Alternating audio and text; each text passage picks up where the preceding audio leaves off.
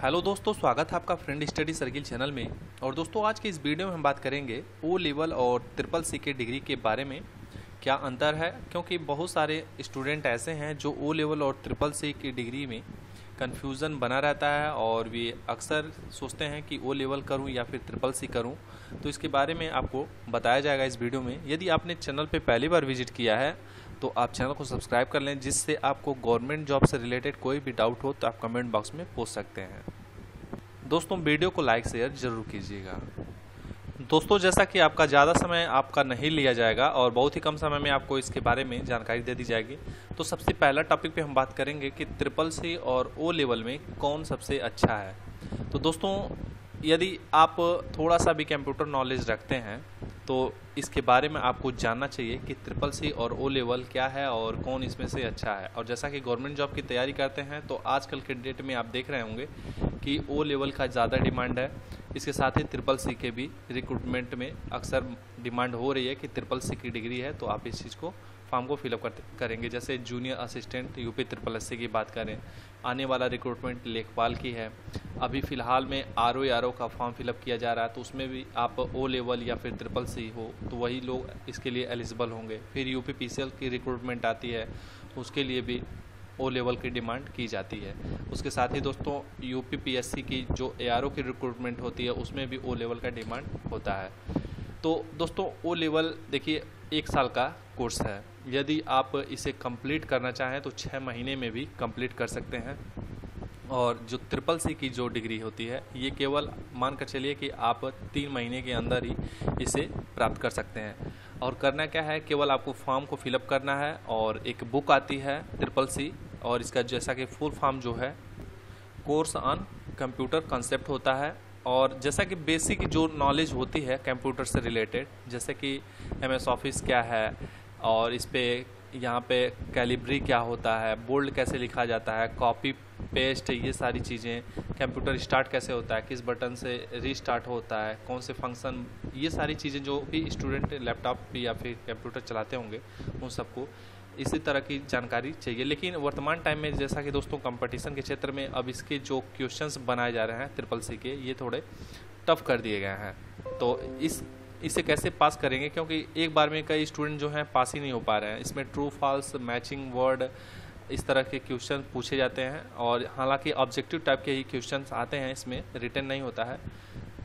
तो triple C की, के लिए तैयारी के लिए आपको एक बुक आती है computer on course on computer concept दोस्तों, मैं उसका आपको बुक का फ़ोटो दिखाना चाहूँगा। यदि आप अभी ट्रिपल सी की डिग्री नहीं लिए हैं और ट्रिपल सी सोच रहे हैं करने के लिए तो यहाँ पे आप देख सकते हैं। दोस्तों, ये उसका पिक है और यहाँ पे देख रहे हैं कोर्स ऑन कंप्यूटर कॉन्सेप्ट्स और हिंदी इंग्लिश दोनों लैंग्वेज में होता है और इसमें आपको इतने मल्टीपल चॉइस चॉइस क्वेश्चन मिल जाएँगे जिस पे आप प्रैक्टिस करेंगे। लेकिन उससे पहले आपको इसके जो भी बेसिक्स हैं, जैसे इंट्रोडक्शन टू कंप्यूटर फिर graphical user interface based operating system elements of word processing ये सारी चीज़ें आपको बारीकी से पढ़ना है। बिना बारीकी से पढ़े आप इस एग्ज़ाम को निकाल नहीं पाएँगे। केवल मल्टीपल चॉइस क्वेश्चन से ही आप रट्टा मार के नहीं निकाल पाएँगे। क्योंकि थोड़ा सा भी क्वेश्चन घुमा देगा। क्योंकि पहले तो निकाल लेते ले, लेते थे स्टूडेंट लेकिन इस टाइम जो है स्टूडेंट कन्फ्यूज़न में पड़ जा रहे हैं। क्योंकि थोड़ा सा भी घुमा दिया जा रहा है तो काफ़ी टफ हो जा रहा है। ऐसे बहुत सारे ऐसे स्टूडेंट हैं जो ट्रिपल सी का एग्ज़ाम दिए हैं इस बार और बताया जा रहा है कि पहले की अपेक्षा इस बार टफ कर दिया गया है। तो यदि आप ये जो बेसिक चीज़ें हैं जैसा कि इसके कोर्स में है इस चीज़ पे ध्यान देंगे तो आराम से निकाल लेंगे। क्योंकि आपको नॉलेज जब रहेगा तो उस एग्ज़ाम को बड़े आसानी से कुछ भी पूछेगा उससे रिलेटेड आप उसे कर सकते हैं। तो ये दोस्तों तीन महीने के अंदर आप इस डिग्री को प्राप्त कर सकते हैं। पहले मंथ में, जैसे कि स्टार्टिंग में ये, मान लीजिए सितंबर माह चल रहा है तो इसमें आप तेरह तारीख को फॉर्म फिलअप करते हैं तो फिर आपको एक से डेढ़ महीने बाद एग्ज़ाम करवा दिया जाता है और उसके बाद रिज़ल्ट आ जाते हैं।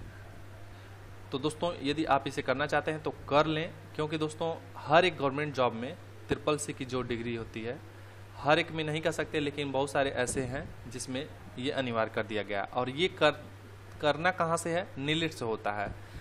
तो दोस्तों, ये एक सरकारी संस्था है, वहीं से होता है, कहीं पे भी आप प्राइवेट इंस्टीट्यूट से नहीं कर सकते। और दोस्तों, यदि आपको लगता है कि नहीं बुक से नहीं, किसी इंस्टीट्यूट के माध्यम से पढ़ के आप निकालना चाहते हैं तो आप वहाँ से जुड़ जाइए, वहाँ आपको सिखा देंगे और जो आप प्रैक्टिकल करेंगे, वहाँ से इससे ज़्यादा आप प्रैक्टिकल के अकॉर्डिंग ही ज़्यादा चीज़ें सीख लेंगे और वहाँ से आप निकाल सकते हैं इस एग्ज़ाम को। और एक से डेढ़ ही महीने में आपको अच्छे तरह से ट्रिपल सी के बारे में सिखा दिया जाएगा, पढ़ा दिया जाएगा।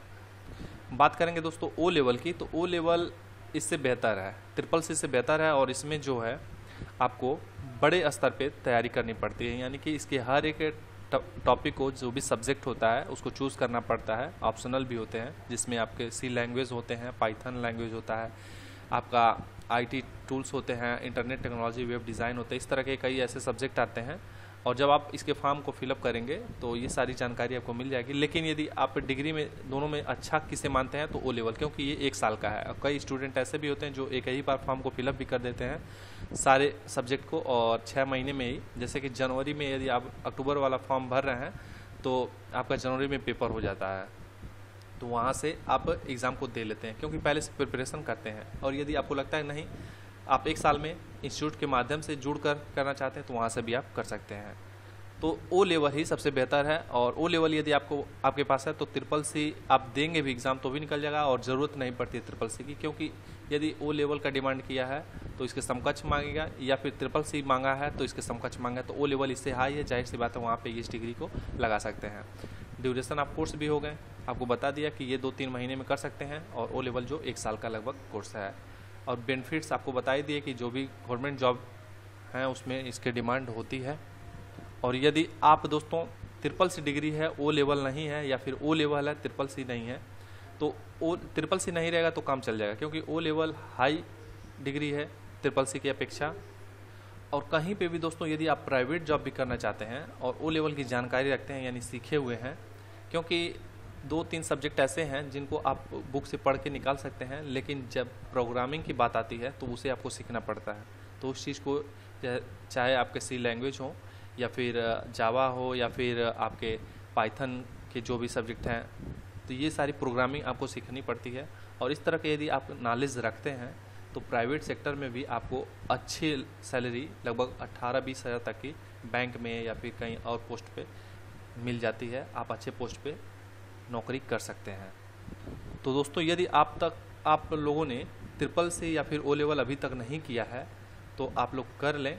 और इससे रिलेटेड कोई भी कन्फ्यूज़न बना है कि कैसे एग्ज़ाम क्वालिफाई करेंगे? या फिर घर बैठे आप कैसे इस चीज़ को कर सकते हैं? अपने स्वयं से पढ़ के कैसे निकाल सकते हैं? तो इसके बारे में भी आपको अलग से वीडियो बना दिया जाएगा। तो दोस्तों, मेरे कहने का मतलब ये है कि ट्रिपल से यदि आप करना चाहते हैं तो आप घर बैठे भी आप तैयारी कर सकते हैं। लेकिन यदि आप ओ लेवल करना चाहते हैं तो किसी संस्था के जुड़ संस्था से जुड़कर इस ओ लेवल को कर सकते हैं। या फिर आप उसके लिए ऑनलाइन कोर्स भी परचेज कर सकते हैं या फिर यूट्यूब के माध्यम से भी सीख सकते हैं। लेकिन दोस्तों, आपके पास एक पीसी या फिर सिस्टम होना चाहिए, जिससे आपको सारी प्रैक्टिकल और जो भी चीज़ें बताई जाएँ, उस चीज़ को आप कर लें। तो दोस्तों, आज की वीडियो समाप्त होती है और भी इसके बारे में बहुत सारी चीज़ें हैं। यदि आपके डाउट होंगे तो आप पूछिएगा। उसके बारे में अलग से वीडियो बना दिया जाएगा। मिलते हैं किसी नए अपडेट साथ। तब तक अपना ख्याल रखें। Take care. Bye bye.